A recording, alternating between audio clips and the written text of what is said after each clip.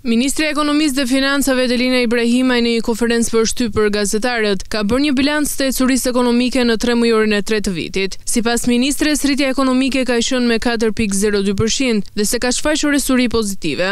Efektet e krizës sigurisht që janë ndier në elementë të ndryshëm të cilët i kemi biseduar, në normat e larta të inflacionit, në ngadalësim të importeve apo eksporteve në vëllim, të ndikuar kryesisht nga ato produkte të cilat kanë pasur rritjen më të madhe të çmimeve. Megjithatë, në tërësi, viti ka qenë një vit i cili ka shfaqur ecuri pozitive ekonomike dhe shifrat më të fundit të Instat e tregojnë më së miri këtë.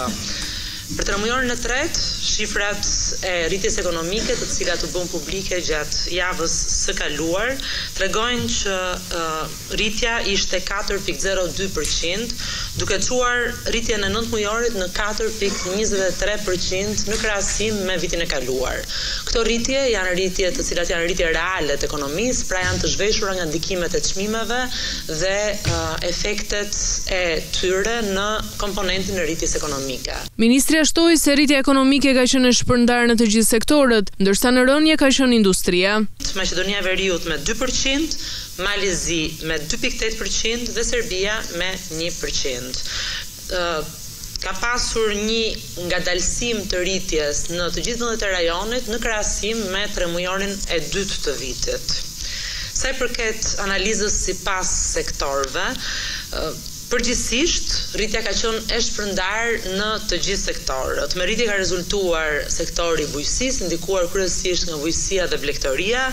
Ndërtimi ka vijuar të japë kontribut pozitiv në rritje dhe rritja ka qenë dhjetë pikë gjashtëdhjetë e gjashtë për qind, ndërkohë që kontributi në rritje ka qenë zero pikë nëntëdhjetë e nëntë për qind.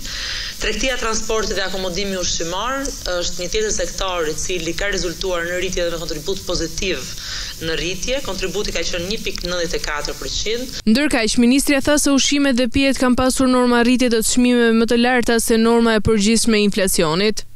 Uroj që kjo të jetë një tendencë, të vijojë të jetë një tendencë rënëse, duke qenë se gjithsesi dhe gjatë vitit të fundit, gjatë periudhës së fundit të vitit të kaluar, ne filluam të shfaqim, inflacioni filloi të shfaqej tendenca rritëse dhe baza e inflacionit në vijim do të jetë më e lartë se ajo e deritanishmja.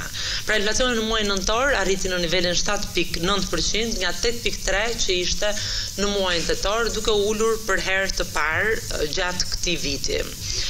Nga ana tjetër, ky inflacion vijon të jetë ndjeshëm më i ulët se normat e rajonit apo normat e BE-së. Në mesataret e.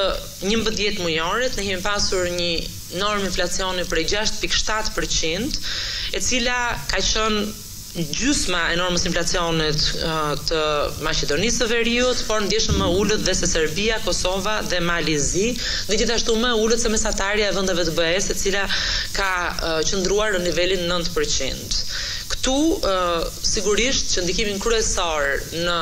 inflacion dhe kontributin kryesor e ka kategoria e ushqimeve dhe e pijeve.